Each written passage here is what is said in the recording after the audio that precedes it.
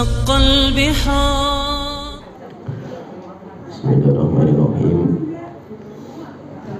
إن الحمد لله نحمده ونستعينه ونستغفره ونعوذ بالله من شرور أنفسنا ومن سيئات أعمالنا. من يهده الله فلا مضل له ومن يضلل فلا هادي له.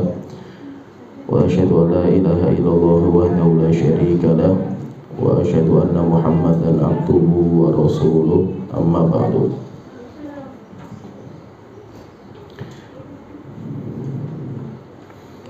Kita melanjutkan pembahasan tentang kaidah-kaidah dalam memahami khilaf. Telah kita sebutkan tiga kaidah.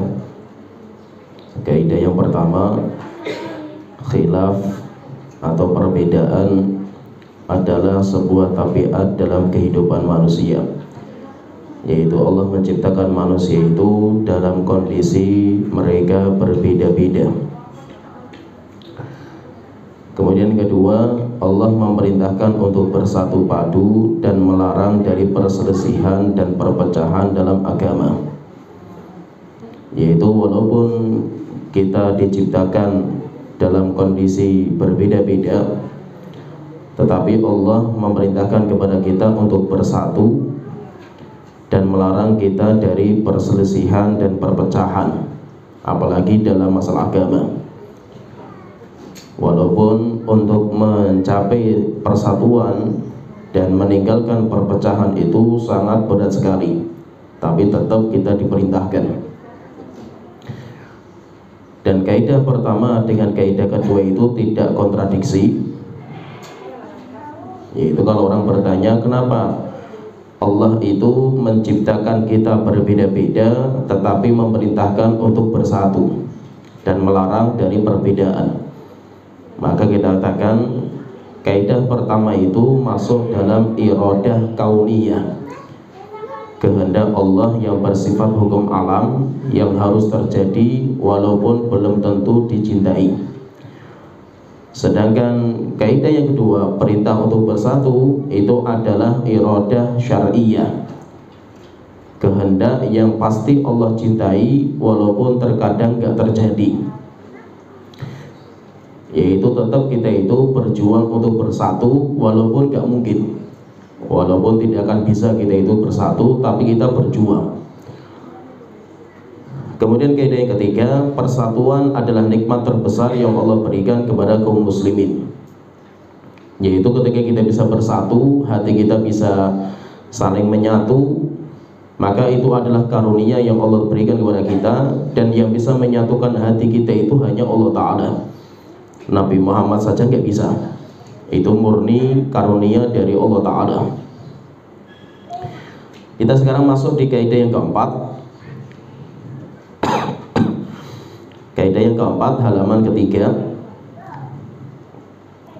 Perbedaan di dalam perkara khilafiyah yaitu perkara yang boleh untuk berbeda adalah merupakan keluasan dan rahmat Allah kepada umatnya yaitu maksudnya perbedaan pendapat di kalangan para ulama dalam masalah khilafiyah. Nanti masalah itu banyak nanti akan kita sebutkan. Ada masalah perkara dinamakan dengan masail khilafiyah. Perkara-perkara di mana orang itu boleh berbeda. Perbedaan ulama dalam masalah khilafiyah itu merupakan keluasan dan rahmat Allah kepada umat Islam. Sehingga Alhamdulillah dengan perbedaan pendapat itu akhirnya ilmu itu berkembang. Ilmu berkembang kemudian istihadiyah juga terbuka lebar kemudian para ulama mereka juga beristimbat mereka mencari pendapat yang paling kuat itu Alhamdulillah terbuka semua. Sehingga perbedaan pendapat di kalangan para ulama itu merupakan rahmat Allah Ta'ala kepada kita. Sehingga Islam itu menjadi agama yang luas. Umar bin Abdul Aziz beliau berkata Tidaklah membuatku bahagia kalau seandainya para sahabat tidak berbeda pendapat. Yaitu maksudnya saya itu nggak bahagia ketika sahabat itu bersepakat dalam sebuah masalah. Kalau sahabat itu sepakat dalam satu masalah, saya nggak bahagia. Tetapi saya itu lebih suka kalau para sahabat itu berbeda. para sahabat itu mereka berbeda pendapat karena jikalau mereka bersepakat dalam satu masalah maka orang yang menyelisinya menjadi orang yang sesat. Yaitu jika sahabat mereka sepakat dalam satu masalah. Kemudian tiba-tiba datang orang yang menyelisih kesepakatan mereka. Maka orang itu sesat. Sehingga kalau sudah bersepakat tidak ada tidak ada yang yang boleh lagi untuk menyelisihinya. Akan tetapi jika mereka itu berbeda pendapat yaitu para sahabat itu mereka berbeda pendapat orang boleh mengambil pendapat ini dan yang lain boleh mengambil pendapat itu. Sehingga dalam masalah tersebut ada keluasan untuk memilih pendapat yang kuat baginya. Dan para sahabat itu sudah mereka sudah biasa berbeda pendapat. Bahkan ketika Rasulullah masih hidup pun perbedaan pendapat itu ada di kalangan mereka. Sehingga ketika para sahabat itu mereka berbeda pendapat mereka nanti punya murid muridnya juga punya murid akhirnya orang itu memiliki keluasan. Mau milih pendapatnya Umar bin Khattab atau pendapat Abu Hurairah, pendapat Abdullah bin Mas'ud. Banyak dan semuanya punya punya salaf yaitu punya rujukan. Sehingga Alhamdulillah dengan perbedaan pendapat di kalangan para sahabat itu akhirnya ilmu itu terbuka. Ilmu itu terbuka sehingga istimbat kemudian saling belajar kemudian saling mencari pendapat yang paling kuat itu terbuka lebar tetapi kalau para sahabat sudah sepakat, tidak ada khilaf, selesai. Kalau sudah sepakat, tidak ada lagi yang akan membuka masalah itu. Syekhul Islam beliau berkata, silang pendapat dalam hukum terkadang merupakan rahmat jika tidak menyebabkan kerusakan yang lebih besar yaitu tersembunyinya suatu hukum. Oleh sebab itu ketika ada seseorang yang menulis kitab dan memberikan judul Kitabul Khilaf maka Imam Ahmad beliau berkata, namai kitab tersebut dengan kitab Sa'ah, kitab keluasan. Dan telah dinukilkan dari sebagian para ulama bahwa mereka berkata, ijma kesepakatan ulama adalah hujah yang pasti dan jelas. Sedangkan perbedaan mereka merupakan rahmat Allah yang luas. Itu di sini maksudnya saya Islam menyebutkan bahwa khilaf itu khilaf di kalangan para ulama ketika mereka terjadi perbedaan pendapat itu terkadang rahmat. Tapi terkadang juga musibah. Terkadang juga azab tetapi terkadang menjadi e, menjadi rahmat jika memang tidak timbul kerusakan yang lain. Jadi khilaf itu perbedaan pendapat di kalangan ulama di kalangan ustadz itu terkadang rahmat jika tidak menimbulkan kerusakan yang lain kerusakan misalkan saling pecah belah saling gontok-gontokan saling tahdir-tahdiran saling sesat menyesatkan itu berarti khilafnya menjadi musibah. Atau tidak menyebabkan kebenaran itu tertutup yaitu sampai orang itu tidak mau menerima kebenaran. Gara-gara berbeda pendapat. Misalkan A beda pendapat dengan B kalau seandainya khilafnya itu ilmiah, pasti yang dicari itu kebenaran. Tapi terkadang tidak. Tahu yang benar itu B, tetapi A tidak bisa mengakui. Akhirnya apa? Terjadilah kerusakan di situ, di mana hukumnya itu malah tersembunyi disebabkan karena kita itu tidak bisa menerima kebenaran pada pihak yang lain. Maka itu ketika ada seseorang nulis kitab di zamannya Imam Ahmad, kitabnya itu isinya khilaf perbedaan pendapat di kalangan para ulama ditulis sama dia. Kemudian dinamakan kitabnya itu adalah kitab khilaful ulama kitab perbedaan pendapat di kalangan para ulama.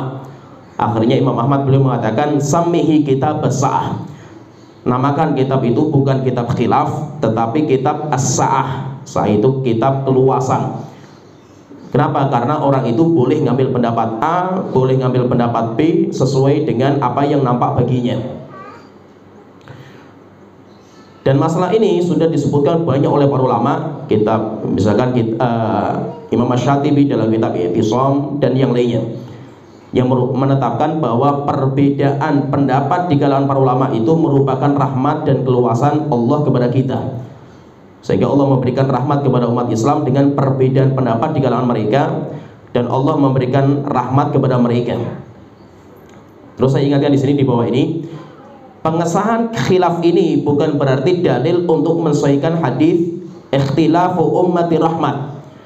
Perbedaan pendapat di kalangan umatku adalah rahmat. Ada hadis yang terkenal sekali, sering disebutkan oleh manusia. Hadisnya adalah ikhtilafu ummati rahmah. Perbedaan pendapat di kalangan umatku adalah rahmat. Kita katakan hadis itu dhaif, bahkan sebagian mengatakan hadis itu palsu. Hadis ini dipalsukan oleh Syalbani dalam kitab Ta'ifah nomor 58. 58, 59, 61 itu boleh membahas hadis ini. Sehingga kalau hadisnya ikhtilafu ummati rahmah itu hadis dhaif. Bahkan hadisnya palsu. Tetapi tetap kita katakan kalau secara makna, kalau secara hadisnya itu derajat hadisnya palsu. Tetapi kalau secara makna, ulama-ulama kita sudah menyebutkan bahwasanya khilaf di kalangan para ulama itu terkadang menjadi rahmat dan terkadang juga bisa menjadi musibah. Sehingga Bukan berarti ketika kita itu lemahkan hadis ini berarti kita lemahkan maknanya. Dan itu perlu difahami kaidah seperti ini. Terkadang hadisnya lemah, tetapi ulama sepakat tentang pengamalan hadis itu. Contohnya misalkan hadis la nikah illa biwali, tidak boleh nikah kecuali dengan wali. Sehingga mayoritas para ulama mensyaratkan dalam pernikahan itu harus ada wali bagi wanita. Hadis yang dipakai lemah. Tetapi jumhur ulama mengambil makna hadis itu. Sehingga sehingga hadisnya bisa diamalkan. Maka nikah tanpa wali batal. Kalau pendapatnya Imam Abu Hanifah boleh. Imam Abu Hanifah membolehkan nikah tanpa wali boleh. Ulama mengatakan enggak tidak boleh kenapa? karena hadis itu kalau ditanya lah kan hadisnya dhaif iya hadisnya dhaif tapi maknanya sah maknanya itu benar Contohnya lagi misalkan hadis tentang masalah air itu suci mensucikan kecuali sudah berubah rasa, warna dan baunya. Al-ma'u tahurun la. Air itu suci mensucikan, tidak ada yang merubah dari kesucian dia kecuali apa-apa yang merubah rasa, warna dan bau. Nah, hadis ini setelahnya itu kecuali yang merubah rasa warna bau itu sepakat ulama dhaif hadisnya itu. Tetapi diamalkan. Tetapi diamalkan. Maka itu hadis lafadznya ikhtilafu ummati rahmat, perbedaan pendapat di kalangan umat itu rahmat itu dhaif, bahkan palsu. Tetapi maknanya kita katakan maknanya itu terkadang benar. Bahwasanya ulama-ulama kita menukilkan bahwa ada perbedaan pendapat itu yang menjadi rahmat dan ada juga perbedaan pendapat itu yang menjadi musibah. Dan itu nanti dilihat kepada konsekuensinya. Nanti masalah-masalah itu nanti akan kita sebutkan kalau kita bicara masalah adab. Jadi ada perkara yang boleh berbeda pendapat ada perkara yang nggak boleh berbeda pendapat jadi ada masalah misalkan saya contohkan misalkan supaya tergambar sedikit misalkan kita tanyakan misalkan ada masalah azab kubur itu ada atau tidak? Maka kita tetapkan ada. Itu akidah al-sunnah wal jamaah. Siapa yang berbeda dalam masalah ini sesat. Siapa yang mengatakan azab kubur nggak ada sesat. Dan perbedaan dalam masalah ini musibah. Kenapa? Karena ini usul akidah al-sunnah wal jamaah. Pertanyaan cabang dari itu. Yang ditanya atau yang diazab itu rohnya atau jasadnya? rohnya atau jasadnya? Maka ulama khilaf panjang dalam masalah ini. Apakah rohnya saja atau jasadnya saja atau roh dan jasadnya? Khilaf panjang di antara para ulama wallahu alam kalau pendapat yang paling kuat roh dan jasadnya. Roh dan jasadnya karena di alam kubur itu dikembalikan. Tapi perbedaan dalam masalah ini itu nggak tercela kenapa? karena ini masalah khilafiyah. Ulama-ulama mereka punya hujah masing-masing. Sehingga para ulama kita itu mereka berbeda pendapat. Maka boleh orang itu ngambil pendapat A boleh ngambil pendapat B sesuai dengan yang kuat bagi dia. Itu berarti tidak semua perbedaan itu musibah. Dan kita katakan juga tidak semua perbedaan pendapat itu rahmat. Maka nanti kita lihat perbedaan pendapat itu dalam masalah apa dan itu penting sekali karena kebanyakan kita itu kacau. Karena kita itu tidak tahu ini masalah khilafiyah atau masalah istihadiyah atau masalah ittifaqiyah. Itu kita nggak nggak tahu. Nanti insya Allah akan kita sebutkan kaidahnya. Kita masuk ke ide yang kelima. Jadi fahami di sini apa yang saya ucapkan fahami. Kita katakan bahwa perbedaan pendapat di kalangan ulama dalam masalah khilafiyah itu adalah rahmat dari Allah Ta'ala tapi kita tidak mensoikan hadis ikhtilafu ummati rahmah. Perbedaan pendapat di kalangan umatku itu adalah rahmat. Itu hadis palsu. Itu hadis palsu. Tetapi kita katakan sebagaimana ulama-ulama katakan bahwa perbedaan pendapat ulama dalam masalah ijtihadiyah itu adalah rahmat. Sampai ulama-ulama kita itu sebagaimana dinukilkan nanti sama Imam Ibnu Qudamah beliau mengatakan ittifaquhum hujjatun qati'atun wa ikhtilafuhum rahmatun wasi'atun Beliau mengatakan kata Imam Ibnu Qudamah dan beliau sebutkan di beberapa kitab. Ucapan ini beliau mengatakan ittifaquhum hujjatun qati'ah. Kesepakatan para ulama itu adalah hujjah yang kuat dan pasti. Sehingga ijma itu menjadi hujjah dalam agama kita. Kan sumber rujukan kita itu Al-Qur'an, Sunnah, kemudian qiyas, kemudian ijma. Sehingga kalau ulama sudah sepakat, itu sudah dalil yang pasti dan kuat dalilnya itu. Maka beliau mengatakan ittifaquhum hujjatun qati'atun. Kesepakatan mereka para ulama itu merupakan hujjah yang kuat wa ikhtilafuhum rahmatun wasi'atun dan perbedaan pendapat di dalam mereka rahmat Allah yang luas. Jika ulama itu berbeda pendapat berarti itu rahmat Allah yang luas bagi mereka karena mereka boleh untuk mencari pendapat yang paling kuat yang mana mereka saling istihadiyah, mereka saling istimbat, mereka saling mencari kebenaran, akhirnya terbuka ilmu itu. Akhirnya ilmu itu menjadi luas disebabkan karena perbedaan di kalangan mereka. Kita masuk ke ide yang kelima.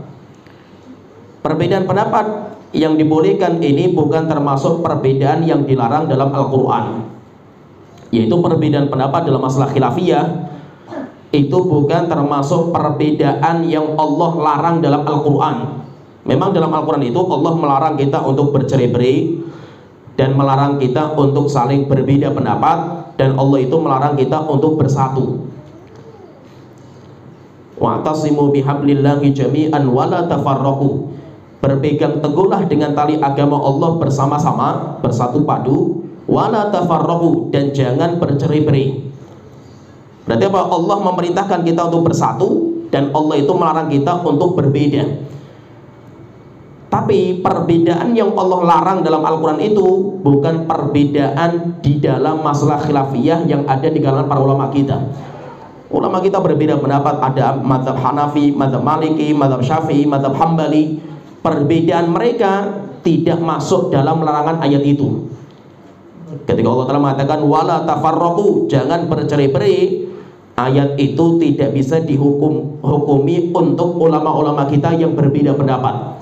Kenapa? Karena perbedaan pendapat dalam masalah khilafiyah itu bukan termasuk perbedaan yang dilarang oleh Allah dalam Al-Qur'an. Jika ada yang ada orang berkata, bagaimana mungkin perbedaan pendapat merupakan keluasan dan rahmat dari Allah taala? Padahal Allah melarang dari perselisihan dan perceraian. Maka Imam Al-Jassos eh, termasuk uh, ulama ahli tafsir punya kitab namanya Ahkamul Quran. Ketika menyebutkan ayat tadi wa'tasimu bihablillahi jami'an wala tafarraqu. Maka Imam Al-Jassos menjawab syubhat ini dengan perkataannya bahwa beliau mengatakan panjang sekali ucapan beliau saya sebutkan sebagian saja Beliau mengatakan terkadang ada dua ulama yang berselisih dalam berapa ukuran nafkah kepada istri. Ukuran nafkah yang wajib itu berapa? Maka nanti ulama berbeda pendapat. Demikian juga ukuran denda. Ketika kita misalkan saya memukul orang sampai mukanya memar, itu dendanya berapa? Khilaf di antara para ulama. Demikian juga diat. Diat itu tebusan suatu kriminal maka perselisihan ini tidak menyebabkan salah satu di antara keduanya mendapatkan celaan dan teguran yang keras. Sehingga mereka itu alhamdulillah ulama-ulama kita itu tidak saling mencaci maki, tidak saling mencela, bahkan tidak saling menyesatkan terhadap pendapat yang lainnya. Inilah hukum masalah ijtihadiyah. Kalau seandainya perbedaan dalam ijtihad seperti ini merupakan perkara yang tercela, maka niscaya para sahabat adalah orang yang paling banyak mendapatkan celaan. Kenapa? Para sahabat itu gurunya satu. Gurunya Nabi Muhammad SAW. Anehnya Nabi Muhammad meninggal, mereka berbeda pendapat para sahabat itu. Mereka itu berbeda pendapat dan panjang khilafnya mereka itu. Maka kalau seandainya setiap perbedaan pendapat itu mendapatkan celaan, maka orang yang pertama kali harus kita celak itu adalah para sahabat. Karena mereka berbeda pendapat para sahabat itu. Karena kita mendapatkan mereka saling berselisih dalam hukum warisan. Ada beberapa masalah warisan di mana sahabat itu mereka berbeda pendapat karena nggak ada nasnya. Sampai akhirnya nanti keluar fatwanya Umar, keluar fatwanya Zaid bin Thabit dan yang lainnya. Walaupun seperti ini, yaitu mereka itu berbeda pendapat, mereka tetap bersatu. Dan mereka membolehkan kepada saudaranya untuk menyelisihinya.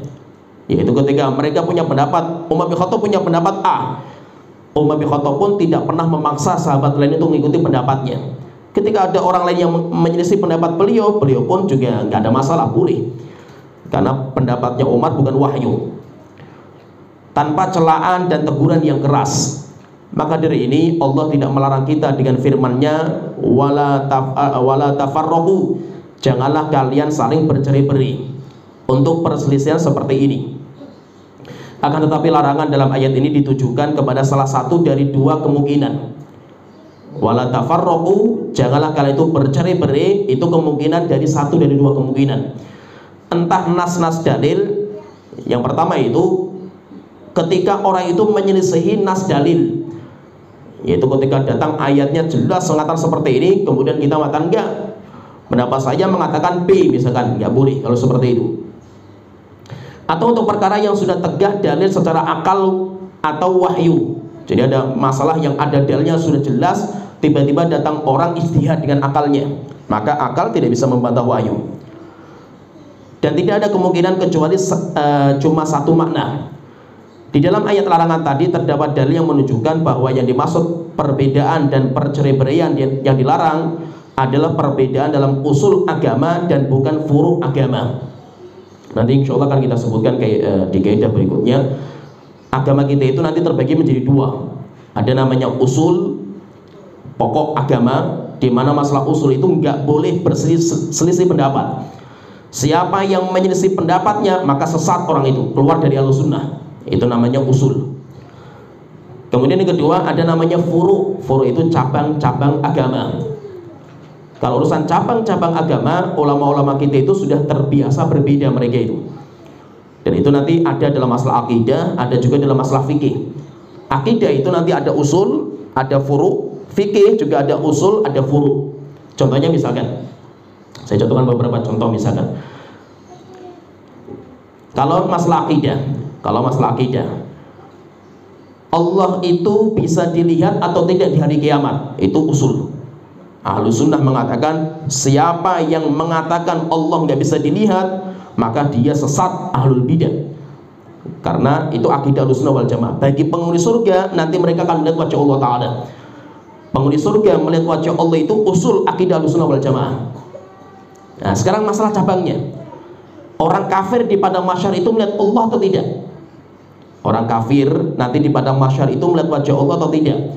Maka khilaf dalam masalah ini panjang di antara para ulama khilafnya panjang. Walaupun wallahu alam kalau pendapat saya yang lebih saya kuatkan orang kafir melihat Allah laisa ru'yatul tan'im ru'yatul nikmah. Bukan melihat untuk menikmati wajah Allah taala tetapi melihat untuk mendapatkan tambahan azab.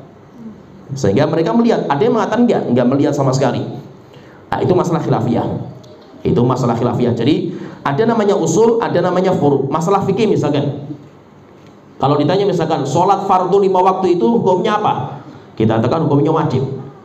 Kalau ada orang mengatakan gak wajib, apa hukumnya? Hukumnya kafir orang itu.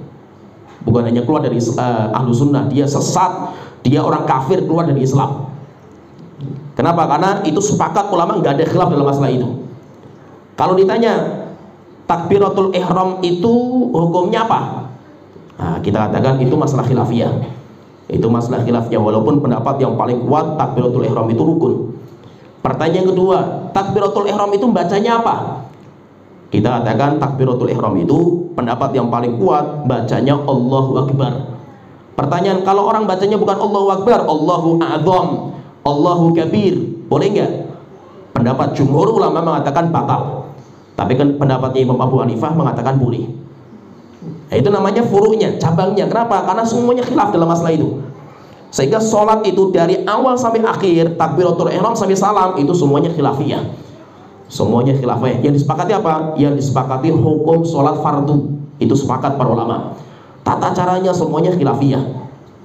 Nah, sehingga maksudnya itu nanti dalam masalah fikih ada usul dan furu, masalah akidah itu juga ada usul dan furu, sehingga tidak sembarangan orang menyesatkan pendapat yang lain itu nggak sembarangan Ketika kita sesatan, oh ini orang sesat ini menyelisih akidah sunnah. Kita katakan akidah yang mana gitu.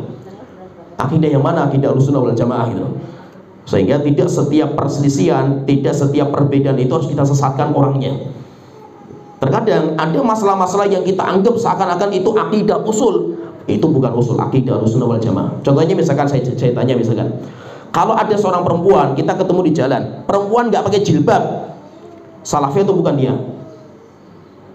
Ini bukan wanita salafi ini bukan ahwat salafi. Nah kenapa bukan ahwat salafi? Nggak pakai jilbab. Kita katakan orang nggak pakai jilbab itu haram. Haram itu tidak mengeluarkan dari alusunah wal jamaah.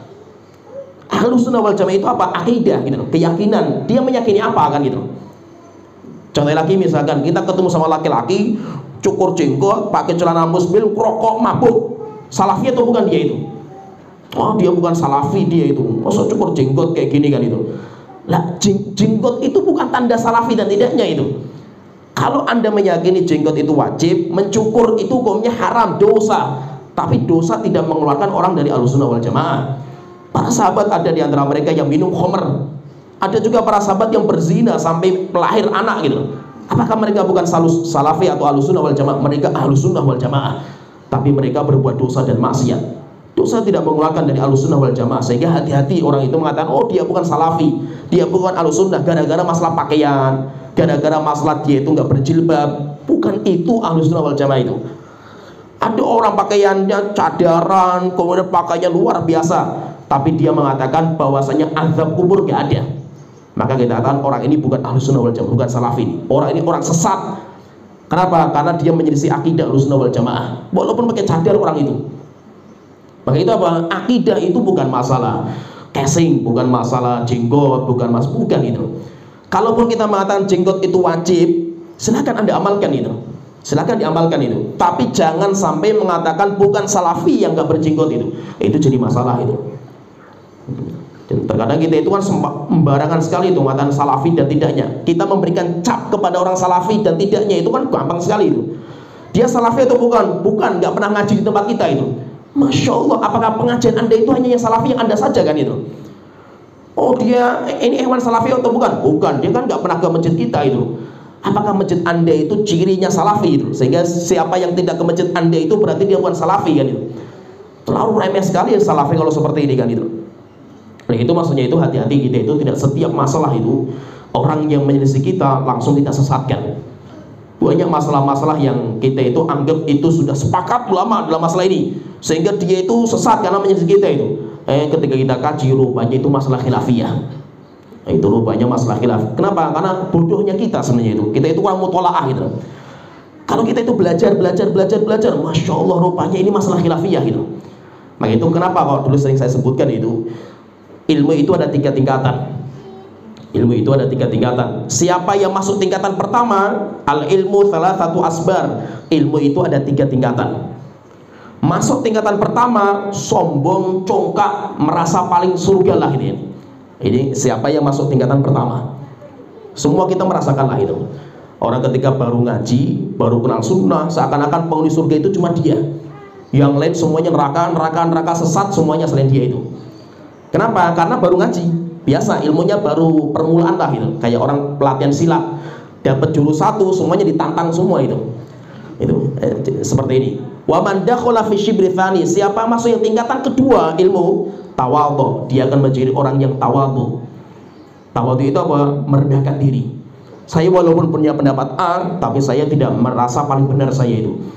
Kenapa? Karena saya tahu masalah ini masalah khilafiyah Wa man dakhala fi siapa yang masuk tingkatan ketiga, ilmu yang paling tinggi itu yara annahu la ya'lamu syai'an. Dia merasa orang itu paling bodoh di dunia.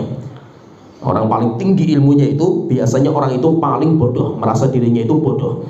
Sehingga dia itu pasti malah lebih banyak belajar daripada ngomong. oleh itu kita pun merasakan seperti itu banyak masalah-masalah yang dulu kita anggap ini itu salafi dan ini itu bukan salafi rupanya itu masalah khilafiyah saya dulu ini ceritanya.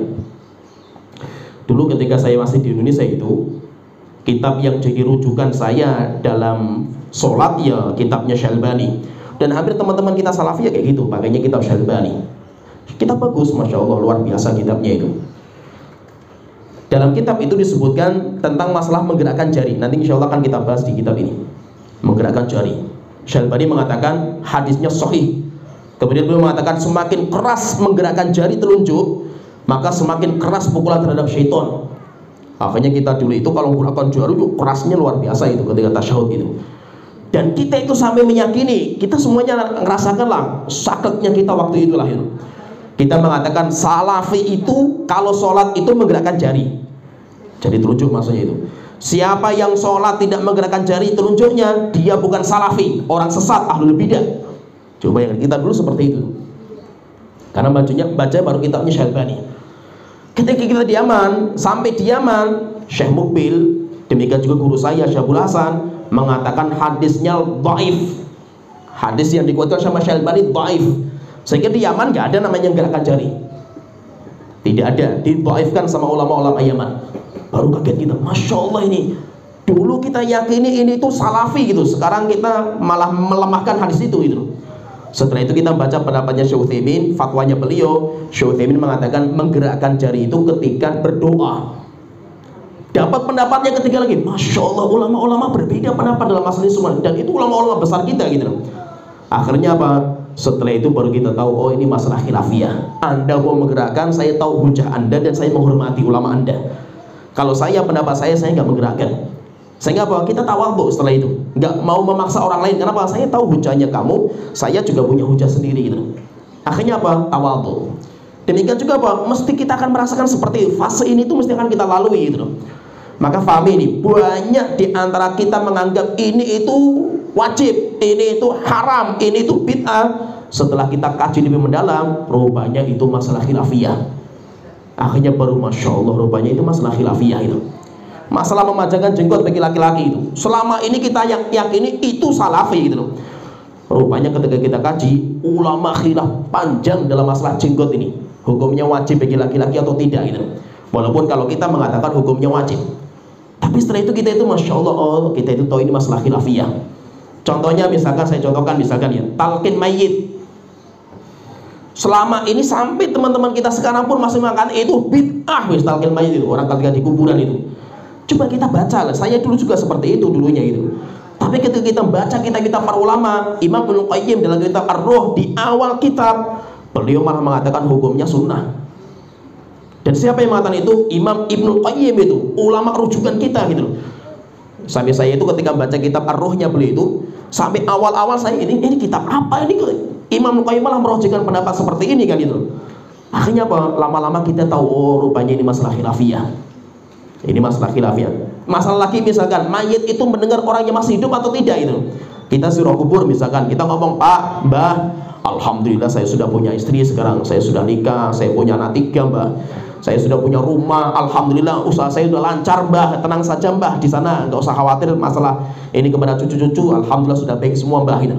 Ah, ngobrolnya orang masih hidup pada si mayit itu sampai nggak suaranya terdengar nggak itu? Gila panjang di antara para ulama dalam masalah ini itu. Saya pun kaget juga ketika baca itu kok rumahnya masalah khilafiyah gitu. Selama ini saya yakini itu nggak bisa mendengar. Oke, itu pendapat kita dulu kan itu.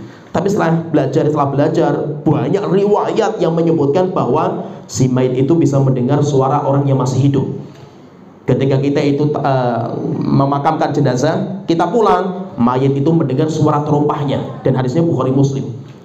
Rasulullah Wasallam itu ketika perang Badar selesai, kemudian jasadnya orang-orang kafir ditanam di dalam uh, sumur. Setelah tiga hari Rasulullah datang ke sana Dipanggil satu persatu, wahai Abu Jahal, wahai ini, wahai ini. Kalian mendapatkan janji Tuhan kalian atau tidak? Umar bin Khattab tanya sama Rasulullah, ya Rasulullah, Umar di situ sebelahnya Rasulullah. Wahai Rasulullah, apakah engkau panggil orang-orang yang sudah mati? Maka Rasulullah mengatakan, wahai Umar, mereka mendengar suara saya lebih dengar daripada kamu dengar suara saya itu. Mereka lebih mendengar suara saya daripada kalian itu. Berarti apa? Ini dalil sebagian ulama digunakan bahwa si mayit itu masih mendengar. Akhirnya apa? Masya Allah, rupanya masalah ini masalah khilafiyah gitu Sehingga maksudnya itu, maksudnya semakin kita itu nanti belajar, semakin belajar, kita itu nanti bisa semakin memfilter. Ini masalah usul, tidak boleh berselisih. Ini masalah furu yang mana siapa saja masih kita, kita saling menghormati.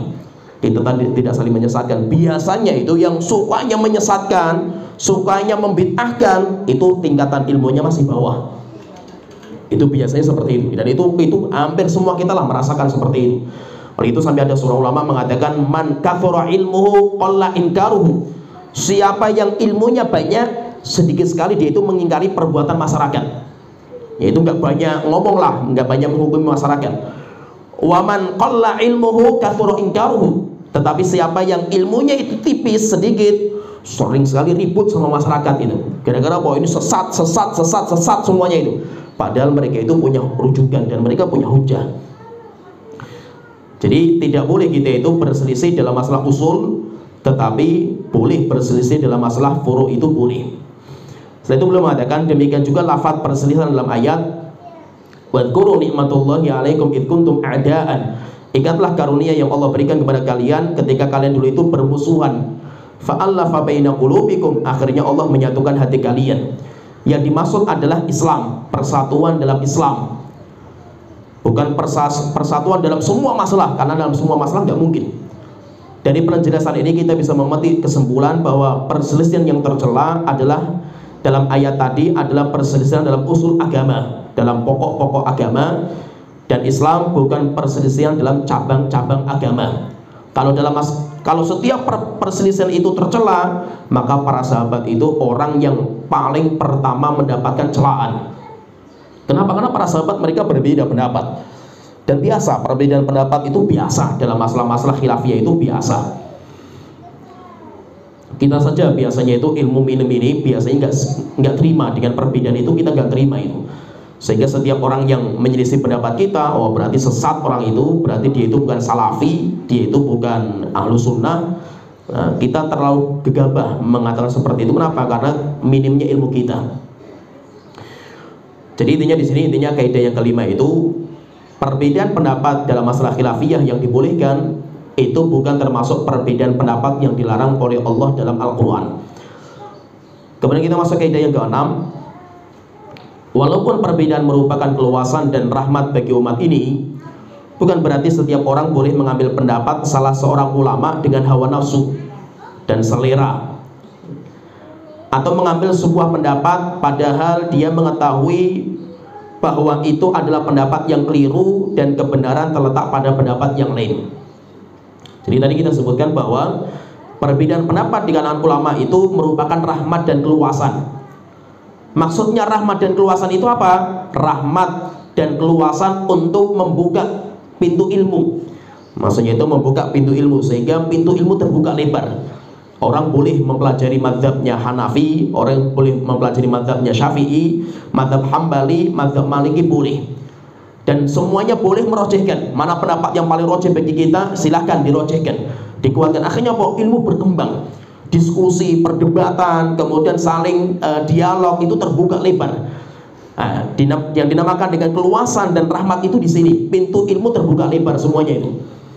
Bukan berarti yang dinamakan dengan rahmat dan keluasan itu orang itu boleh ngambil sesuai dengan selera. Kalau sesuai dengan selera bahaya. Beragama karena selera itu bahaya. Contohnya misalkan gini, ada orang pengen makan babi, atau makan anjing misalkan ada nggak ulama yang membolehkan anjing ada pasti ada ada orang pengen nikah mut'ah ada nggak ulama yang membolehkan nikah mut'ah ada kalau seandainya kita itu mencari pendapat ulama itu yang pengen menguatkan syahwatnya kita maka kita menjadi orang munafik kalau seperti ini sehingga bedakan di sini antara keluasan dalam pintu ilmu sehingga ilmu terbuka lebar dengan keluasan untuk mencari pendapat sesuai dengan selera kalau berpendapat sesuai dengan selera nggak boleh. Itu termasuk perkara yang diharamkan oleh para ulama. Maka tidak boleh kita itu, misalkan kita lihat pendapat dua ulama, misalkan ustadz dua ustadz berbeda. Ah, yang paling enak yang ini aja lah bagi saya lah itu, nggak bisa. Karena kalau yang paling enak bagi saya, kita jadikan agama itu kayak makanan plasmanan. kita cicipi satu persatu kemudian setelah itu yang paling enak kita makan sehingga kita beragama karena selera kita beragama itu karena dalil kita tidak boleh beragama itu karena selera maka itu intinya tidak boleh orang itu mengambil salah satu pendapat seorang ulama karena hawa nafsu atau selera atau dia itu mengambil pendapat dan dia itu tahu kalau pendapat itu lemah sebenarnya itu. Pendapatnya lemah dan pendapat yang kuat itu ada pendapat yang lain. Maka itu tidak dibolehkan. Imam Ismail Al-Qadhi beliau berkata Sesungguhnya keluasan di dalam perbedaan para sahabat adalah keluasan keluasan di dalam menggunakan pendapat dalam istihad.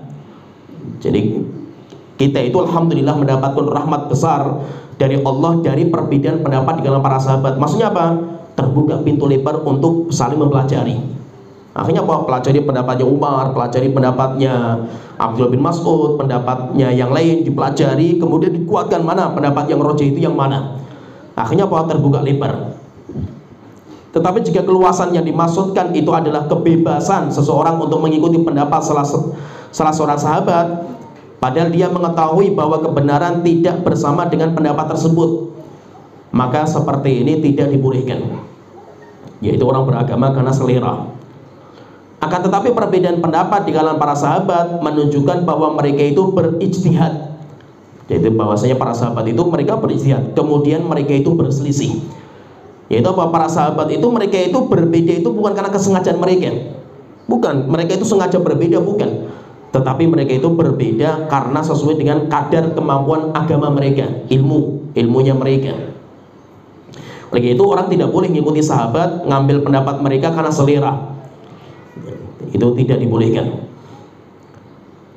jadi kalau orang beragama karena selera itu kayak plasmanan. Kita itu kayak makan plasmanan, kita cicipi semuanya, kita ambil makanan yang paling enak bagi kita. Contohnya misalkan saya contohkan, misalkan ya saya contohkan. Orang yang beragama karena plasmanan.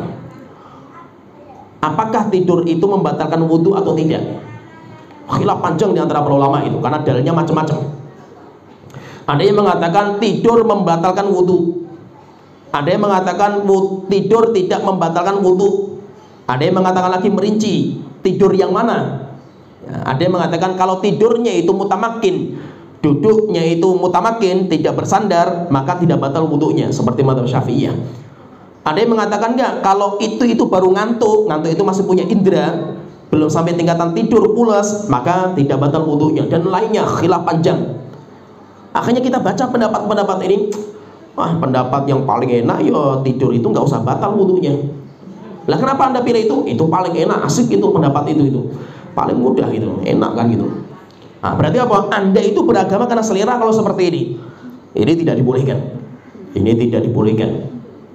Sehingga maksudnya itu kita itu beragama itu karena dalil bukan hawa nafsu. Sekarang dalil yang Anda miliki itu apa? Kalau Anda itu orang yang berilmu, dalilnya itu cari Al-Qur'an dan hadis. Itu namanya dalil Anda. Sedangkan bagi orang awam, dalilnya bukan Al-Quran dan hadis. Orang awam nggak bisa dia itu berdalil kepada Al-Quran dan hadis. Baca Quran saja nggak bisa gitu Bahasa Arab saja nggak bisa itu. Kok bisa-bisanya dia mengatakan kembali kepada Al-Quran dan Sunnah itu? Al-Quran Sunnah siapa gitu loh? Oh, anda bahasa Arab saja nggak bisa gitu loh. Terus orang awam itu dalilnya apa itu? Dalilnya itu fatwanya ulama. Orang awam itu dalilnya apa? Dalilnya itu fatwanya ulama. Berarti dalilnya orang awam itu apa? Taklid dalilnya orang awam itu taklid nanti akan kita bahas taklid itu boleh atau tidak taklid itu hukum asalnya haram tapi terkadang menjadi wajib kayak bangke kayak babi. Daging babi hukum asalnya haram tapi terkadang menjadi wajib bagi orang yang gak ada pilihan. Makanan kecuali babi.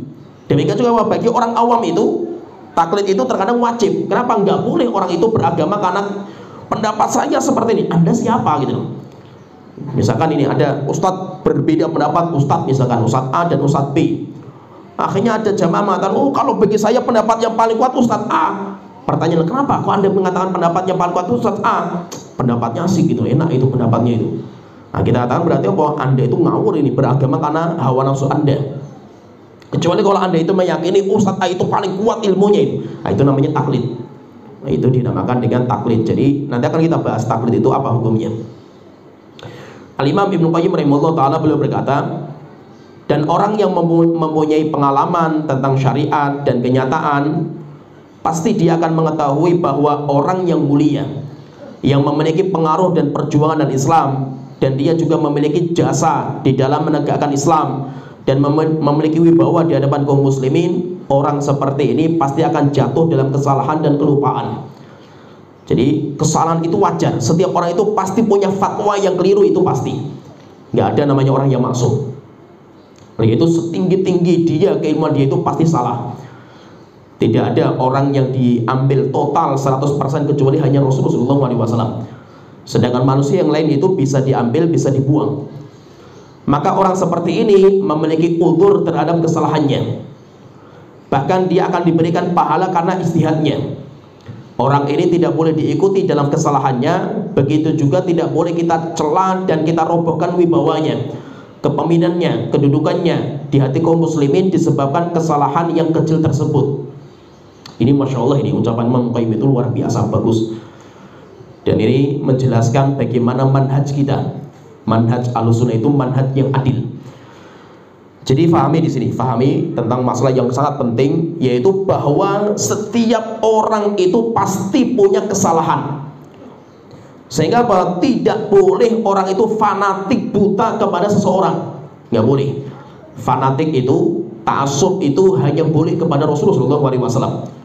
Oleh itu kata para ulama mengatakan kata Imam Malik beliau mengatakan kullun nasi qawluhu wa yutrak setiap orang boleh diambil ilmunya dan boleh dibuang kecuali Rasulullah SAW yang boleh difanatik yaitu kita itu boleh ta'asub dan fanatik secara mutlak 100% itu hanya Rasulullah SAW sedangkan selain Rasulullah maka ucapannya bisa diambil kalau kuat secara dalil atau bisa dibuang ketika lemah secara pendalilan apalagi menyelisih dalil maka itu kita bisa buang. Namun, fahami di sini, tidak pasti, tidak mengharuskan kita harus mencaci maki orang itu. Kita harus robohkan wibawanya. Kita jadikan kesalahan itu itu sebagai ya sebagai tangga untuk mencela dia, menyesatkan dia, kemudian mencaci maki dia. Bukan. Akidah kita, manhaj kita nggak seperti itu. Nah, itu maksudnya itu kita itu memiliki sikap pertengahan dalam masalah kesalahan ulama jadi kesalahan ulama itu, fatwa yang keliru dari fatwa ulama itu apa? Sikap kita itu apa? Maka nanti sikap manusia itu ada tiga. Sikap manusia itu ada tiga, Me berkaitan dengan uh, uh, fatwa yang keliru dari seorang ulama. Yang pertama, orang yang fanatik tutup mata. Bos mau salah maupun benar selama itu adalah ulama saya, selama itu adalah madhab saya, berarti itu benar. Siapa itu? Orang-orang yang fanatik, orang-orang yang ta'asub sehingga selama yang mengamalkan itu orang yang saya cintai, semuanya benar. Saya nggak peduli dalil. Sampai akhirnya ada di antara mereka itu yang mengatakan kita itu kan cuma naik bis gitu loh. Serahkan ke sopir saja lah gitu. Sampai mereka ada yang mengatakan kita itu sama kiai kita itu, sama ulama kita itu kayak kita itu orang mati yang sudah dimandikan. Ikut saja wis pokoknya itu. Pokoknya kalau nyemplung ya nyemplung supirnya, so, neraka jahanam ya supirnya. Kita ngikut saja lah supir kan gitu. Sampai pernah itu saya itu ketika disuruh mimpin doa itu saya pakai doa pakai bahasa Indonesia itu saya itu doanya pakai bahasa Indonesia nggak pakai bahasa Arab. Pernah dikritik saya itu. Ustaz kok doanya pakai bahasa Indonesia itu? Dan saya ngomong lah biar anda tahu kan gitu daripada saya doa pakai bahasa Arab anda kan nggak tahu kan itu daripada saya doa nanti anda amin amin saya tanya amin kan apa anda itu? Ya ikut supir Ustaz yang penting supirnya harus ikut saja lah. Mesti baiklah supirnya itu. Ya kan? Ya nggak bisa. Kita diberikan akal kan untuk berpikir kan gitu. Nggak nggak bisa seperti ini kan itu maka yang pertama sikap yang pertama itu melihat kesalahan ulama itu tutup mata. Fanatik tasuk wis pokoknya. Selama si fulan maka pasti benar wis nggak peduli uh, dalil dan tidaknya itu. Ini orang-orang yang fanatik. Dan ini tercela. Orang seperti ini tercela. Kemudian yang kedua sikap yang kedua itu orang yang menjadikan kesalahan sebagai ajang untuk menghabisi orang itu. Dicaci maki dan wis dirobohkan kemudian difitnah dan yang lainnya habis wis pokoknya orang itu siapa orang ini? Ini adalah orang yang hasad. Orang yang hatinya ada hasad. Sehingga apa? Orang yang hasad itu kerjaan dia itu nunggu kesalahan dia itu. Oh dia salah dalam masalah ini. Oh, habisi. Setelah itu serang dia habisi lah itu. Nanti nunggu lagi kesalahan apa lagi nih oh salah dalam masalah ini. Habisi lagi lah itu. Jadi eh, kegiatan dia itu hanya menunggu kesalahan ulama yang dia uh, yang dia benci. Kemudian kita sikap yang ketiga itu dan itu sikap kita harus kita jalankan sikap yang ketiga itu. Yang pertama, sikap yang ketiga itu kita katakan kita mengakui bahwa itu adalah kesalahan. Kalau itu kesalahan berarti kita nggak boleh mengikuti. Tapi kita tetap masih mencintai orang itu dan kita menghormati. Itu adalah sikap pertengahan dan itu sikap terbaik dalam menilai kesalahan seorang ulama. Yaitu apa? Kita tetap yakini itu salah. Pendapatnya lemah sehingga kita nggak boleh mengikuti pendapat itu. Tapi kita tetap masih menghormati, kita tetap masih menghargai. Menghargai seorang ulama dan itu tetap masih ulama saya, guru saya, walaupun beliau salah dalam bab ini. Dan itu adalah sikap ahlu sunnah wal jamaah dalam bab ini. Kenapa? Karena memang kalau kita lihat itu, kita kalau kita membaca ucapan ulama-ulama kita itu sering sekali kita mendapatkan masalah itu sering sekali itu. Sampai ada seorang ulama itu mengatakan jika seandainya setiap ada ulama yang keliru fatwanya setelah itu kita habisi kita tahdir kita caci maki nggak ada seorang ulama pun yang selamat dari lisan kita. Siapa yang akan selamat itu? Ada sebuah kelompok dan rupanya kelompok ini masuk di kalangan salafiyin. Dulu di Saudi Arabia ini sampai disesatkan oleh para ulama kelompok ini ada kelompok namanya Haddadiyah. Ada kelompok Haddadiyah pengikut Muhammad bin Haddad. Yang dia itu mewajibkan ulama itu harus nggak punya salah. Sehingga setiap ulama yang punya salah maka kita bakar kitabnya. Sampai akhirnya itu mereka itu pernah mengumpulkan kitabnya Imam Nawawi sama kitab kitabnya Imam Ibnu Hajar. Setelah itu mereka bakar kitabnya itu bayangkan Imam Nawawi kenapa? Kata mereka Imam Nawawi salah dalam masalah akidah. Imam Ibnu Hajar salah dalam masalah akidah. Akhirnya mereka bakar kitabnya itu. Maka kalau seperti ini siapa yang selamat? Gak ada yang selamat gitu. Maka nanti ada istilah dinamakan dengan zalatul alim. Dinamakan dengan zalatul alim, ketergelinciran fatwa seorang ulama. Ulama itu mesti fatwanya ada yang keliru, fat, pasti kan gitu. Terus bagaimana sikap kita itu? Sikap kita itu tetap meyakini itu kekeliruan. Tapi kita tidak boleh mencaci maki, kita tidak boleh merobohkan, dan kita tidak boleh menghancurkan orang itu karena kesalahan itu. Ada cerita, saya ceritakan sedikit. Ini penting supaya kita itu nggak sembarangan dalam menghukumi orang, apalagi dia itu seorang ustaz, apalagi dia itu seorang pengajar kebaikan. Kalau memang salah, datangi, diskusikan itu, diskusikan itu. Kalau memang ustadznya masih pendapat seperti itu dan kita lihat lagi, oh ini masalah khilafiyah, kita hormati. Masalah khilafiyah gitu. Ada sebuah cerita, cerita itu sebab kenapa Imam Ibnu Qayyim itu ngarang kitab, mensyarah kitab atau mengarang kitab namanya Madarijus Salikin. Fi mangzilati iya karena budu wa iya karena stain. Sebenarnya kitabnya itu Kitab Madari Jusalikin itu tiga jilid Bagus sekali kitabnya menjelaskan tentang masalah suluk Yaitu masalah ikhlas, masalah tawakal Masya Allah luar biasa. Dan rupanya kitab ini syarah dari kitab yang ditulis sama Imam Abu Ismail Al-Harawi.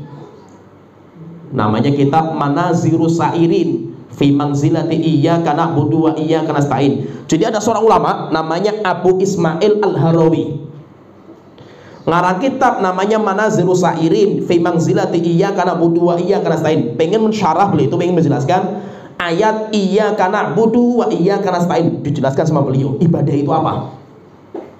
Tapi kitab ini dihabisi sama para ulama itu. Disebabkan karena Abu Ismail Al-Harawi ini ini saya sebutkan ya biar paham ya. dia itu dekat sama Asyairah dia itu dekat sama Asyairah Abu Ismail Al-Harawi itu. Kenapa dia itu dekat sama Syairah? Karena dia itu punya guru namanya Imam Daruqutni. Mana kalau belajar hadis paham sekali lah, termasuk ulama rujukan dalam masalah hadis sampai punya kitab ilal namanya Ilal Daruqutni, ulama al hadis zaman itu. Pernah suatu ketika ini ceritanya ini saya ceritakan biar utuh. Abu Ismail Al-Harawi itu beliau itu berjalan sama Imam Daruqutni Ketika berjalan, di jalan itu melewati ada seorang ulama besar Asy'ariyah. Namanya Abu Bakar Al-Baqilani. Dan perlu difahami di sini, Ahlu Sunnah wal Jamaah di masa itu minoritas. Sehingga apa? Hampir semua kelompok Jahmiyah, Mu'tazilah, Asy'ariyah itu menghabisi Ahlus Sunnah wal Jamaah. Termasuk yang membela Ahlus Sunnah itu Abu Bakar Al-Baqilani walaupun dia itu Asy'ariyah, tapi dia membela mati-matian ulama-ulama hadis zaman itu. Walaupun apa? Tetap akidah dia Asy'ariyah. Akidahnya Abu Bakar Al-Baqilani, ulama Asy'ariyah, tapi beliau itu membela ulama-ulama hadis di zamannya dan beliau sudah tua sekali sudah sepuh sekali itu akhirnya ketika ketemu ulama hadis yaitu Imam Daruqutni ketemu dengan Abu Bakar Al-Baqilani ulama Syairah akhirnya tiba-tiba Imam Daruqutni itu mencium keningnya. Mencium keningnya Abu Bakar Al-Baqilani. Mencium keningnya itu kalau kita kayak mencium tangan lah seorang ulama. Kalau di Arab itu kan nggak mencium tangan cium kening. Kalau pengen menghormati ulama itu cium keningnya. Akhirnya disambutlah, dihormati sekali Abu Bakar Al-Bakilani sama Imam Daruqutni. Maka setelah itu bingung muridnya itu tanya sama gurunya itu Abu Ismail Al-Harawi itu wahai guruku apakah anda nggak tahu ini siapa ini orang ini? Ini kan gembongnya Asyairah itu maka beliau mengatakan dia saya tahu tapi saya mencium keningnya kenapa li ta'zimihi li sunnah karena beliau itu masih menghormati dan membela sunnah Rasulullah SAW saya mencintai beliau karena itu akhirnya setelah itu muridnya itu mulai mendekati Asyairah mendekati Asy'ariyah, mendekati Asy'ariyah. Ketika mendekati Asy'ariyah sama ulama-ulama Ahlussunnah dihabisi, ditahfir, dihabisi lah. Sampai keluar kitab itu. Abu Ismail Harawi itu karena kitab Manazirus Sa'irin. Kitab bagus, tapi gara-gara sudah ditahfir tetap nggak diterima sama kalangan ulama-ulama hadis. Akhirnya setelah itu Imam Ibnu Qayyim rahimahullah taala datang untuk membelanya. Untuk membelanya sampai akhirnya Imam Ibnu Qayyim itu apa yang beliau kerjakan itu kitab itu setiap ada ucapan yang global yang itu dijadikan alat musuh-musuhnya beliau untuk mencaci maki beliau bela sampai terakhir itu mendapatkan sebuah ucapan global yang sudah susah untuk dikasih kemungkinan yang baik itu kemungkinan susah itu apa kata Imam Qayyim itu beliau mengatakan syekhuna wa habibuna walakinnal haq ahabbu ilaina minhu beliau tetap adalah guru saya Beliau tetap adalah orang yang saya sangat cintai. Tetapi dalam masalah ini kebenaran lebih saya cintai daripada beliau. Yaitu apa? Masalah ini beliau menyelisih dalil, menyelisih kebenaran. Saya nggak akan ambil pendapat beliau itu karena kebenaran lebih saya cintai daripada beliau. Tapi tetap beliau adalah guru saya. Beliau adalah orang yang saya cintai. Akhirnya apa? Dibela terus sama Imam Qayyim. Setelah itu mulailah Abu Ismail Harawi itu setelah itu diterima di kalangan ulama-ulama al-hadis. Sehingga belum ingatkan apa? Yaitu ingatkan apa? Jangan kita itu menzalimi orang lain gitu. Jangan gara apa? Kebencian kita kepada seseorang akhirnya kita itu menzalimi mereka gitu. Wala yajrimannakum syana'anu qaumin. Jangan sampai kebencian kita itu menjadikan kita tidak bisa ber berbuat adil kepada mereka. Yang benar tetap kita katakan benar, yang salah kita katakan salah itu. Kalau kita itu harus orang yang kita terima itu yang yang suci, nggak ada yang suci. Syekhul Islam Imam Muqayyim pun jatuh dalam masalah yang besar, gak main-main itu masalah surga neraka neraka itu kekal atau tidak Syekhul Islam dan Imam Imam Ibnu Qayyim mengatakan nggak kekal dan itu parah masalah akidah termasuk salahnya parah sampai akhirnya apa ada orang-orang yang mencaci maki Syekhul Islam dan Ibnu Qayyim gara-gara masalah ini ada orang-orang yang ulama-ulama kita yang membela mati-matian ada yang mengatakan ini kesalahan beliau tetapi ini satu dari satu titik noda dari samudera kebaikan beliau sehingga maksudnya apa? Kalau kita itu ingin mencari orang yang benar 100% nggak mungkin gitu. Anda saja yang sudah suka menyesatkan pasti banyak kesalahan Anda gitu. Maka apa? Kesalahan ulama itu bukan berarti kita itu harus fanatik. Kita harus tutup mata kita dari kesalahan itu enggak, tetap itu salah. Sehingga kita nggak boleh mengikuti, tapi jangan kita jadikan kesalahan itu sebagai alat untuk mencaci maki dan menghancurkan wibawanya ulama itu. Imam Nawawi dalam uh, fikih itu ketika membicarakan tentang mazhab Syafi'i ketika makruhkan hadis uh, air namanya air musyammas. Air musyammas itu makruh dalam mazhab Syafi'iyah. Air musyammas itu adalah air yang dipanaskan dari sinar matahari. Apa kata Imam Nawawi? Imam Nawawi mazhabnya Syafi'iyah, pembela mati-matian mazhab Syafi'iyah. Tapi belum mengatakan walam yathbut dalam bab ini air musyammas makruh nggak ada dalil secara akal, secara wahyu dan secara kesehatan. Sehingga beliau pendapatnya apa? Air musyamas itu nggak makruh. Beliau keluar dalam dari mazhab dalam masalah ini. Kenapa? Beliau melihat ada dalilnya lebih kuat itu. Tetapi bukan berarti apa beliau mencaci maki madhab syafi'i harus me, apa, merobohkan wibawa. Kemudian kita juluki sebagai orang yang bodoh orang yang lemah nggak punya dalil dan mereka punya dalil. Tapi dalilnya lemah bagi kita gitu. Nah kita apa kita itu harus hati-hati. Jangan bermudah-mudahan kita itu menyesatkan seseorang apalagi dia itu ulama apalagi dia itu pengajar kebaikan. Ada seorang ulama mengatakan i'lam anna luhumul ulama'i masmumah ketahuilah bahwasanya dagingnya ulama itu beracun. Kalau kita itu hibai seseorang orang soleh itu kayak makan daging bangkai. Saudara kita masih dalam kondisi dia itu masih hidup itu ayuhibbu ahadukum ayyakula lahma akhihi maitan. Orang yang menghibai orang lain orang muslim itu kayak kita itu makan bangkainya itu. Apalagi yang kita bicarakan itu adalah seorang ulama. Yang mungkin berbeda dengan pendapat kita itu. Maka bukan hanya bangkai lagi tapi beracun dagingnya itu sehingga jangan sekali-kali kita itu membicarakan atau merendahkan atau melecehkan seorang ulama gara-gara bagi kita mungkin kita lihat dalilnya lemah. Kalau anda nggak ngambil pendapat itu silahkan itu, karena mereka pun nggak pernah mewajibkan anda untuk ikut pendapat mereka gitu. Tetapi yang penting apa? Kita itu saling menghormati. Kita itu saling menghormati, kita itu saling menjaga diri kita dan kita itu saling mengagungkan, jangan sampai saling mencaci maki gara-gara berbeda dengan kita. Ya sebenarnya sini kita uh, alhamdulillah masih di kaidah ke-6 nanti insya Allah kita akan masuk di kaidah yang ke-7 macam-macam khilaf. Ini masih kaidah. Nanti yang paling penting kalau kita itu masuk di adab. Adab itu sangat penting sekali. Ya sebenarnya sini pembahasan kita wa akhiru da'wana. Alhamdulillah alamin. Sallallahu Muhammad wa yang pelajaran terakhir sikap manusia ada jadi sikap manusia dalam menyikapi kesan ulama itu ada tiga. Yang pertama orang yang menutup mata. Selama si fulan, si ustadz saya semuanya benar wes itu. Itu orang yang ahli taklid, orang yang fanatik, orang yang tasuk. Yang kedua, orang yang menjadikan kesalahan itu sebagai ajang untuk mencaci maki. Berarti kayak dapat amunisi baru itu. Oh, alhamdulillah itu salah si fulan dalam masalah ini akhirnya dicaci maki, dihabisi itu. Difitnah. Nah, ini siapa ini? Orang-orang yang hasad. Orang-orang yang hatinya itu ada hasad. Yang ketiga, yang ketiga itu orang yang ketika melihat kesalahan ulama itu dia meyakini itu salah dan dia tidak akan mengikuti pendapat itu karena dia meyakini salah itu tetapi dia masih menghormati orangnya, masih mencintai dan masih menganggap sebagai seorang ulama. Walaupun dalam perkara itu dia keliru.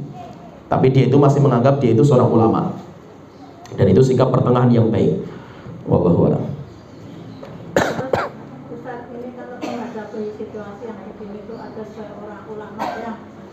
yang sebetulnya itu di agama tidak boleh.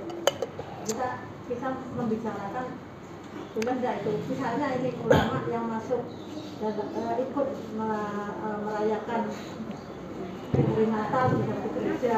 Itu kita Jadi gini. Kita. Jadi gini. Uh, masalah itu kan tadi kan kita kita bahas itu. Ada masalah-masalah yang khilafiyah, ada masalah-masalah yang tidak ada khilaf di antara para ulama. Nah kalau seperti ini, seperti orang yang merayakan Natalan dan itu jelas nggak ada khilaf dalam masalah ini yang menyelisih cuma orang-orang liberal gitu loh. Ulama-ulama asal sunnah dari empat mazhab nggak ada yang membolehkan. Ini yang pertama. Kemudian yang kedua kita itu juga melihat kecondongan ulama itu ke mana gitu. Orang itu condongnya ke mana? Kalau condongnya itu ke sunnah dia itu memegang sunnah apa dia itu cinta sama sunnah. Cuma dalam masalah itu keliru gitu. Itu hukumnya beda dengan orang yang nggak peduli dengan sunnah gitu. Orang sama sekali nggak cinta sama sunnah nggak peduli dengan sunnah itu beda nanti kondisinya beda maka nanti kita lihat itu bermacam-macam aspeknya itu ada banyak yang perlu kita lihat gitu. Berarti sikap kita diam gitu, tidak boleh kita bicarakan dengan orang lain, tapi kita Bukan, kalau kita membicarakan itu tujuannya untuk apa? Kalau kita membicarakan tujuannya untuk memberikan peringatan kepada yang lain, wajib terkadang. Karena itu amar ma'ruf nahi munkar. Tapi kalau kita tujuannya membicarakan itu untuk hanya membongkar aibnya saja tanpa harus tujuannya bukan ingkar mungkar maka tetap haram hukumnya nggak boleh ya.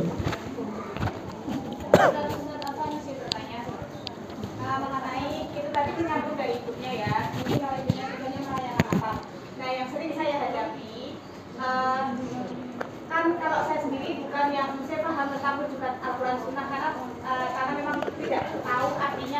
Iya.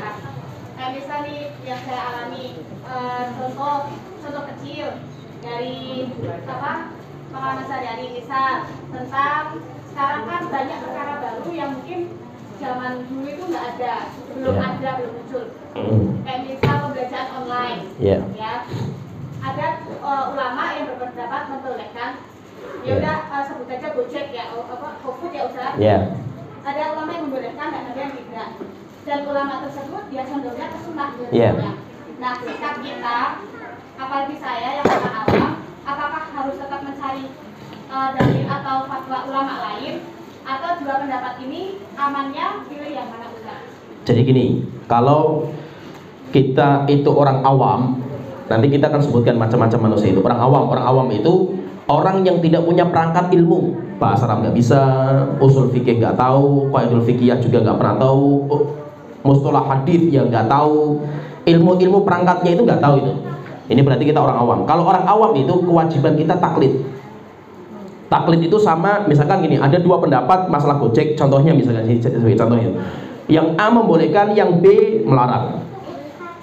Kita orang awam nggak bisa kita cari dalilnya mana ini masalah kayak gini. Wes gini, taklid sama orang yang kita anggap paling kuat ilmunya dan paling amanah. Misalkan kita, oh kalau masalah muamalah kayak gini, saya lebih condong kepada pendapat Ustadz Allah itu. Oh ya silahkan. Taklid kepada dia karena kita orang awam gitu. walaupun itu lebih bisa ambil yang membolehkan Ya. kan, kan mengikuti Bukan, bukan. Kalau sekarang gini, Anda itu ngikuti pendapat ulama A itu kenapa gitu? Yang bagi saya, kok kalau masalah muamalat itu ulama yang paling kuat ilmunya itu si A gitu. Ah, berarti Anda itu ngikuti dalil. Dalilnya itu apa? Bagi saya ulama yang paling kuat itu ya si A gitu dalam masalah ini gitu. Nah, itu berarti apa? Kita ngikuti dalil kita. Dalil kita itu taklid sama ustadz gitu. Tapi kalau anda itu ngikuti pendapat A, kenapa? Pendapat A itu paling enak itu hukumnya kan boleh, wong kita mau bisnis kayak gini kan gitu. Nah ini berarti anda itu beragama karena hawa nafsu. Jadi gini, kalau beragama karena hawa nafsu itu takarannya diri kita. Ini yang enak bagi kita itu apa gitu? Nah, itu itu hawa nafsu. Tapi kalau taklid yang dibolehkan itu masalah ini, ini masalah apa? Oh ini masalah fikih kontemporer. Kalau bagi saya itu ustadz yang paling kuat fikih kontemporer itu ya ustadz A. Dia kalau bicara masalah fikih kontemporer bagus dia itu. Ah, berarti ini namanya taklid yang boleh. Kalau bicara masalah akidah, kalau bagi saya ulama akidah yang paling bagus itu Ustaz B. Sehingga saya lebih ikut pendapat beliau daripada yang lain kan itu. Itu berarti taklid yang boleh karena kita orang awam. Kalau kita penuntut ilmu, saya misalkan saya penuntut ilmu, saya punya bahasa Arab, saya punya usul fikih, tapi saya bukan ulama. Terus apa yang saya kerjakan itu? Saya meneliti dalil-dalil mereka. Pendapat A mana dudukkan dalilnya, pendapat B kita dudukkan dalilnya. Oh kalau seperti ini dalilnya, yo kalau saya lebih condong kepada pendapat B misalkan. Kenapa? Karena secara ilmu kayak gini, kayak gini, kayak gini. Itu bagi orang penuntut ilmu namanya itu. Kalau ulama, ulama itu yang berfatwa. Ulama itu yang boleh mengeluarkan fatwa dalam masalah-masalah seperti ini. Nah, jadi intinya kalau kita itu orang awam melihat ada perbedaan pendapat di kalangan ustadz atau di kalangan ulama, kita itu taklid kepada siapa ulama yang kita yakini paling kuat ilmunya dan paling amanah dalam bab itu siapa. Misalkan kita anggap A, misalnya Ustadz A, ya sudah ikuti pendapatnya Ustadz A gitu, karena kita orang awam gitu. Jangan sampai apa kita menguatkan loh, ini bahaya. Misalkan ada pendapat A, ada pendapat B, masalah Gojek ini membolehkan, ini mengharamkan. Kita tahu pendapat yang paling rojih bagi saya itu pendapat A. Rojih bagi Anda itu dari mana sisinya kan gitu. Wong Anda bahasa Arab saja nggak bisa kan gitu. Jadi jangan sampai apa kita itu kayak supporter bola gitu. Sukanya menyalahkan, sukanya membenarkan, tapi kalau suruh main nggak bisa gitu loh. Ya kan? Kalau kita kalau kita orang awam taklid saja lah. Kalau masalah ini saya ngikuti pendapat Ustadz A saja lah gitu. Itu pendapatnya rojih nggak? Nggak, saya nggak tahu rojih dan tidaknya. Karena saya nggak bisa merojihkan dalam masalah ini. Saya nggak bisa mempelajari dalam mereka. Yang penting Ustadz A ini rujukan saya dalam masalah fikih kontemporer misalnya. Kalau beliau itu fatwanya seperti ini, saya ikuti saja lah. Nah, jadi seperti itu. Kalau seperti itu hukumnya boleh. Ya, a'lam. Ya baik.